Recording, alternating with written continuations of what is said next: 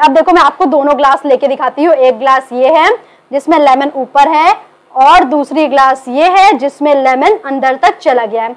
दोनों का डिफरेंस आप साफ़ साफ़ देख पा रहे हो कि डिफरेंस क्या है इन दोनों में। क्या इन दोनों का डिफरेंस देख पा रहे हो?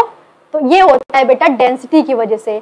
यहाँ पे जो वाटर था नॉर्मल वाटर उसकी डेंसिटी लेमन की डेंसिटी से कम था। इस वजह से लेमन पूरा अंदर तक चला गया, वो डूब गया। और यहाँ पे जब मैंने वाटर में सॉल्ट को ऐड किया तो उसकी डेंसिटी काफ़ी ज़्यादा इंक्रीज हो गई।